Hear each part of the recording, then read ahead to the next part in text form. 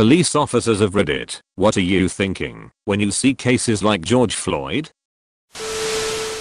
Absolutely sick to my stomach. I'm a lieutenant in my hometown police department. I started my day by showing the video to my officers and making sure my people understood that this is murder, plain and simple.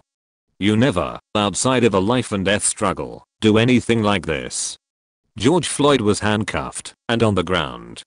If he was still struggling badly enough that they felt a need to hold him down, there's a hundred ways to do it safely. Use of force should always be as measured and considered as possible.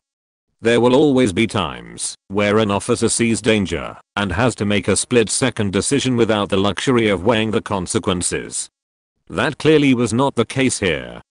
He had all the time in the world to think about what he was doing.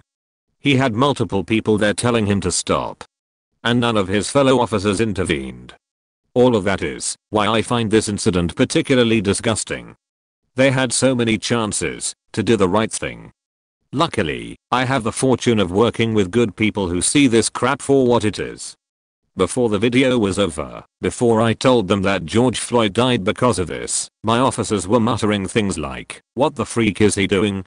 You can't do that crap, and he needs to get off the man's freaking neck. Made me way prouder to be their leader than any number of arrests they could make to see that their instincts were not to defend the officer, for what it's worth, I'm glad that they were fired.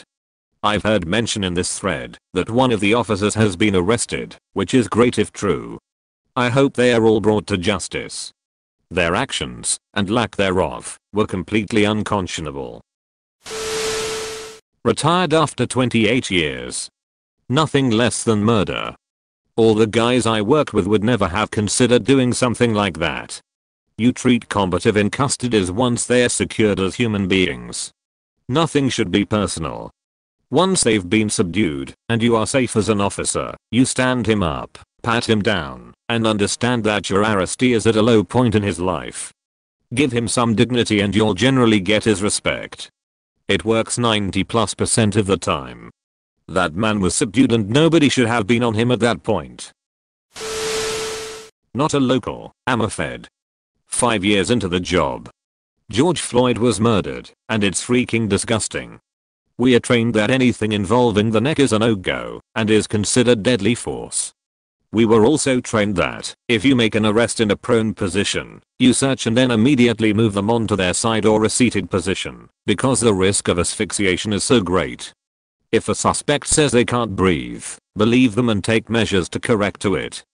This training is reinforced at least twice a year in our use of force training.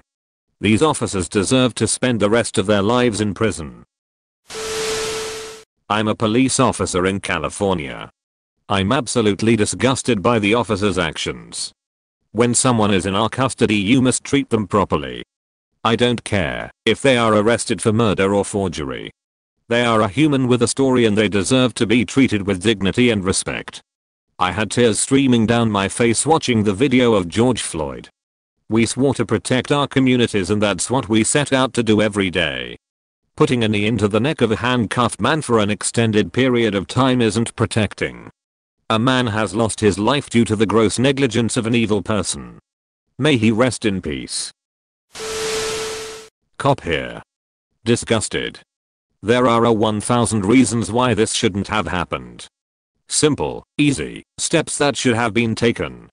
Lessons that policing has learned over the past 200 years and basic things taught in every academy. Make no mistake, this was murder. Maybe not premeditated murder, but nonetheless murder. I will be angry if those officers do not get indicted. I'm a former police officer, and so have had plenty of training in physical restraint of individuals being arrested. There is no police academy training officers to kneel on someone's neck to subdue them. That's how you kill a person. There is extensive training on how to avoid seriously injuring a person while restraining them, and I guarantee you every one of these officers was trained to never strike a person in the neck or choke them. The officer who killed him is very clearly liable for manslaughter at the very least, and I think the other officers who stood by have some accountability as well, because they knew damn well that was not how you handle a person, and should have stepped up. I was a cop in the military. In the police academy this was one of the things that taught us not to do as it could crush the windpipe. The only time I was ever taught to use chokes and neck holds was in combat training for deployments.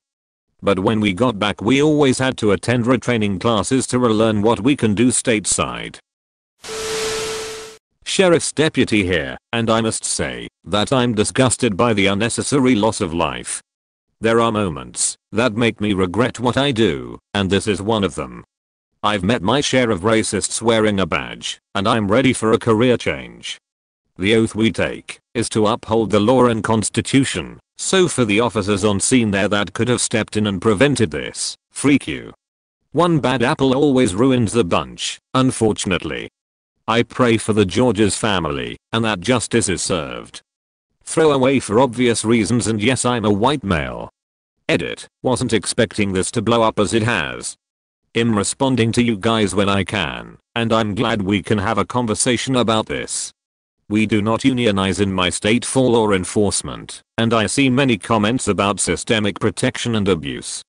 I have never worked under a police union, but I have worked with people who were unionized, and I have heard my share of stories where law is protected by the union. Stories I hear are about union protection from bad leadership, but I can imagine those protections may extend further in cases such as this. As a son of a former police officer, my dad worked really hard to be an honest cop. His department was full of racists. They didn't like him because he was a decent cop. They couldn't do anything wrong on front of him. We saw the news together and I saw him wipe a tear but tried really hard to hide it. I know he's sad and I don't wanna push him to talk about it, but we both know things like this is always gonna happen and that is a really sad fact. I can't possibly understand why a human being would do something like this. I used to be a police officer. It was freaking embarrassing going out the day after something like this happened. One of the reason I quit was because I had no pride in my job anymore. For the people doubting if I used to be a cop or not, this is the only proof I really have. In order to get the police officer flare on slash r slash protect and serve you need to send the mods a pic of your police issued ID haven't been to that sub since before I quit, but here it is imgur.com. I work for a US federal bureau, but am not a local police officer. All four cops need to go to jail. Derek Chauvin, the cop with the knee on George's neck, should have gone to jail long ago. The guy apparently has a history of doing this. This is his third time in 15 years. Black people need to keep fighting, and white slash Asian slash Latino people need to support them. Justice for cases like this won't come easy, and it won't come soon. But if they keep fighting, I truly believe that one day, eventually, it will come. Ah, a post I can finally answer. Based in Scotland, I'm a police officer with 5 years service, 2 of which I have been a part-time officer safety instructor. During this training we go over a training subjects and handcuff techniques that we use to a T. This includes all safety aspects including where to apply handcuffs, how tight they should be, ensuring the technique is done correctly, and that the subject is in a controlled but safe position.